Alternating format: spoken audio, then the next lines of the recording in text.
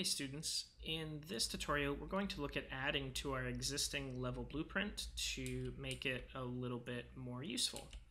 So you can see I've played around with some of our objects and created at least uh, two different sort of platforms that I can now get to with my uh, moving platforms.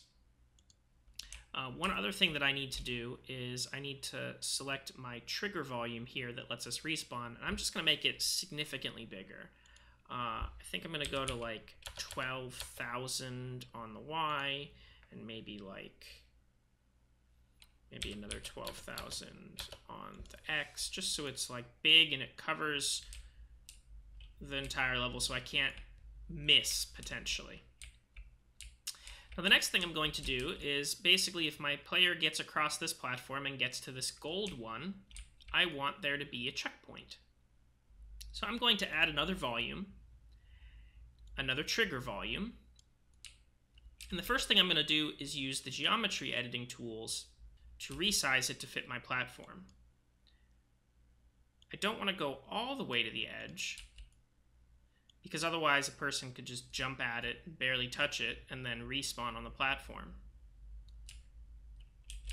I'll get close.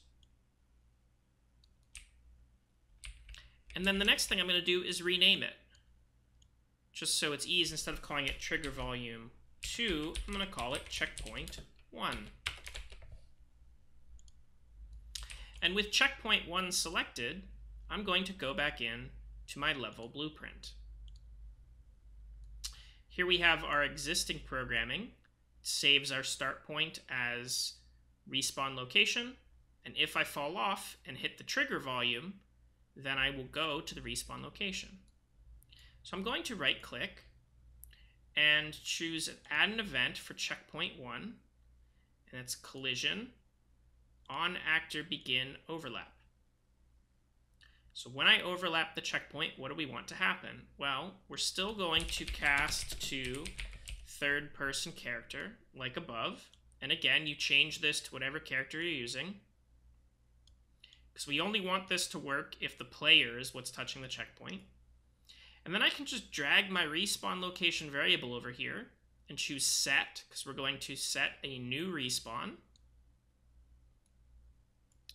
And where are we going to set it to? Well, we have the trigger volume checkpoint selected, so let's click that. And I can drag from this another get actor location and connect it. Now if I compile and go back to my game, play, if I fall off here, I respawn here. But if I make it to my platform and land, and then fall off, I respawn on the golden platform. I can add another one in much the same way. In fact, I can just hold Alt and copy my checkpoint here, and it automatically becomes checkpoint 2.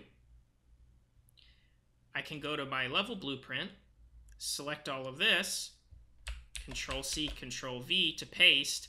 It gets mad because you can't have two of the same event, but I can delete this one, right click and choose Add Event, Collision, Begin Overlap for checkpoint 2, connect it over, delete this bit, and add a reference to checkpoint 2, and my second checkpoint will work.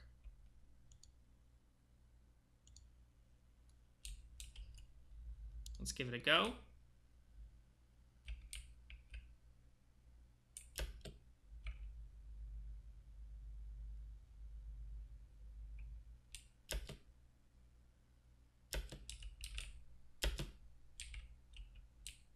If I fall off the rock platform, I'm back on the rock platform.